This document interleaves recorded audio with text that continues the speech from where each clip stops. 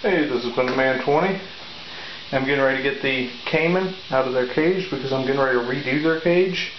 Um, I just got them, didn't want to stress them out by fixing something up real nice and elaborate. So I figured, you know, I'd wait a couple days. It's been a couple days. They seem to calm down well. Um, I just got done feeding them some fish. They ate pretty well. So we're going to go ahead and get these guys out of there. Hopefully without getting bit, but they're a little bit faster than the gators. I haven't had caiman in over a year now, so it's been a little while. Let's see if this goes well. I'm going to try to just be real gentle with them. Let me spin that guy around. Snake up here.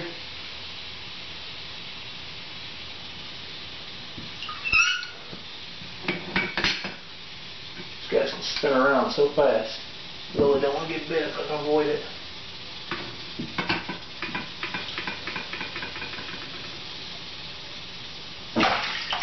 Him?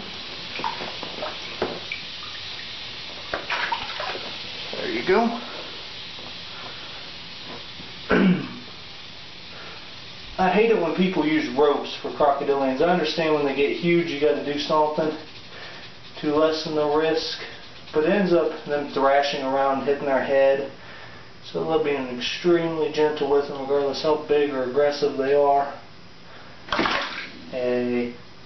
I have worked with some large crocodilians in my day. The biggest one I've ever got to play with was 13 foot long, alligator. It's going to be a tad bit feistier. But all females seem to be a tad bit feistier than males.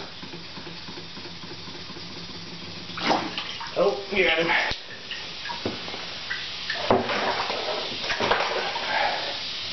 Okay, when you see this cage again, it should be pretty awesome. And this is the finished product that I have going on. Hopefully y'all can hear me over the waterfall. There's my two little caimans. The male is a lot calmer than the female I found out.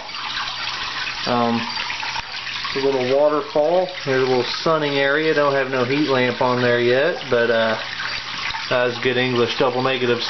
Anyway, a rock bottom in there. It's a regular little aquarium light going on right now. I've got to put a top on that still, but got that that waterfall's filtration system just pumping up over the rock.